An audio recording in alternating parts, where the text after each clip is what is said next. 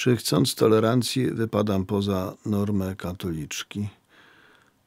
Nie, nie, nie wypadasz. Nawet myślę, że wcale jeszcze jej nie osiągasz. To znaczy, tolerancja nie jest jeszcze pełną postawą katolicką, bo postawą katolicką jest miłość bliźniego, łącznie z miłością do nieprzyjaciół. Yy, więc jakby sama tolerancja jeszcze nie wystarcza. Oczywiście jest pytanie też o jej yy, rozumienie.